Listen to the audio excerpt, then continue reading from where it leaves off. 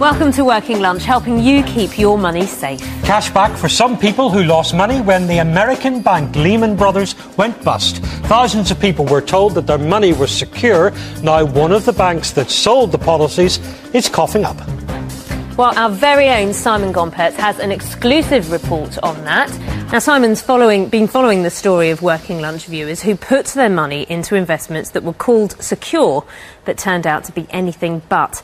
The investments were backed by the American bank Lehman Brothers, and when it went bust, many of our viewers discovered that their money had gone with it. Well, today Simon has some good news for them because one of the banks that sold the policies is now giving some of its customers all of their money back. Here's his latest exclusive report. Martin Toon is one of at least 6,000 investors who have lost out because of supposedly safe investments, sold in his case by an independent financial advisor who promised that he'd be guaranteed to get his money back. The £30,000 he invested was from an insurance settlement after a motorbike accident which left him unable to work, and now he's been told that it may have disappeared.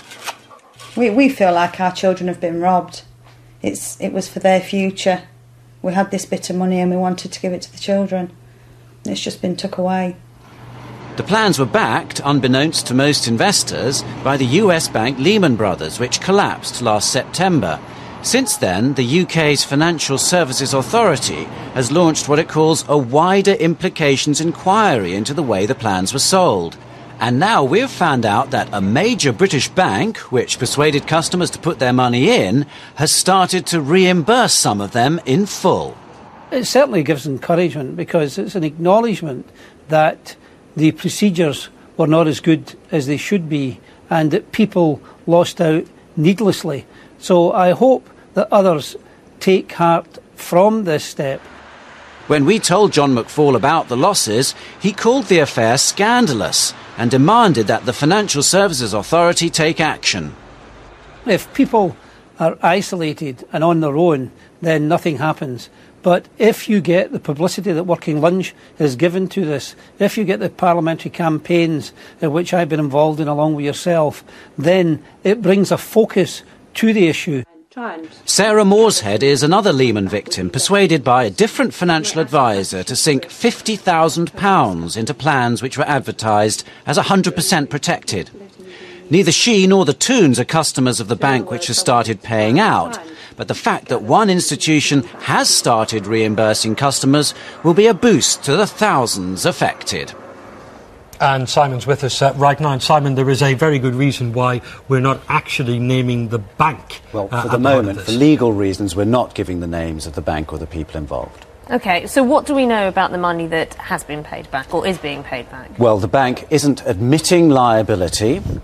Um, however, from the cases that I've seen, it's paying back tens of thousands of pounds, and significantly, that's all the money that they have lost. And in some cases, these were plans that ran for some period of time uh, before the, which they wouldn't have expected to get their money back. So it's really good news for them that they're, they're being promised this money back now on the basis of all this crisis over Lehman that's been going on and on the basis of the way that they were sold the plans. OK, so that's some of the customers of this bank that we're not naming getting all of the money back.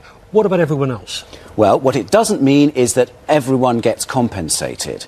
Now, this could be the subject of the Financial Services Authority's investigation that they're conducting at the moment. We expect them to come up with something during the month of August. Now, they have the power to say not just that an individual who might have mis- been missold an investment should be compensated or reimbursed, or but, but, more than that, that everyone who got this from a particular institution should get their money back. Because some people don't end up complaining, and this is the problem. They fall through the net. Often it's only a minority who complain and get their money back. Now, in fact, in Switzerland and in Hong Kong, where there were um, investors who were affected also by the Lehman's collapse, people have been paid back. So this isn't the first time but um, it could be that it has a knock on effect, a domino effect for people who invested via other financial advisors and institutions. Now, that offers a glimmer of hope to people who haven't yet complained. So, if they want to, how can they? Well, there are a couple of things you can do. I mean, first of all, you complain to the people who sold you the product. That's the first thing.